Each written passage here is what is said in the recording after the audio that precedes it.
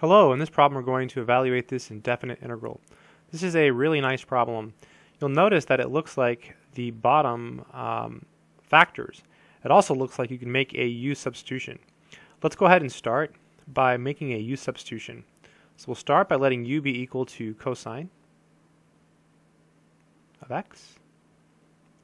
And then notice that du is the derivative. So the derivative of cosine is negative sine. So negative sine x dx. Good stuff. Now we don't have a negative in our integral, so we'll divide both sides by negative 1 to make it match. So this is now negative du equals sine x dx.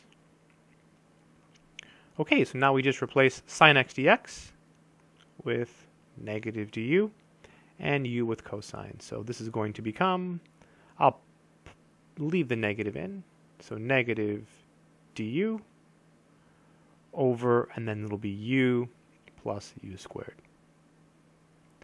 So now we're in a position where we can use something called partial fractions. And honestly, my first, uh, when I first saw this, I thought, oh, let's pull out the cosines. You could have done that first, but I thought, you know, let's go ahead and make the u substitution just to get rid of the trig functions for now, and then we'll factor. So let's use partial fractions on this piece. So notice you can pull out the u on the bottom. So this is negative 1 over u parentheses and then 1 plus u. Yeah, there it is. Good stuff. So because we have distinct linear factors, partial fraction says that we just write a constant above each factor. So it's a over u plus and then b over 1 plus u. All right. And let's go ahead and use what's called the uh, cover-up method.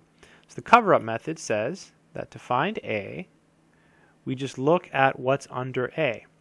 So u is under a. See, what makes that 0? Well, 0 makes it 0. So then you come over here to the left-hand side, and you ignore the u, and you plug in 0 everywhere else. So it's negative 1 over 1 plus 0. So that's just negative 1. So A is equal to negative 1. To find B, the same thing. You look at what is under B, so 1 plus u, and you ask yourself, what makes that 0? Well, u equals negative 1 makes it 0. Then you come over here and you cover it up and you plug in negative 1 everywhere else. So it's negative 1 over, and then this piece here, this u, is going to be your negative 1. So you just get 1. So b is equal to 1. All right, so now we'll go ahead and integrate.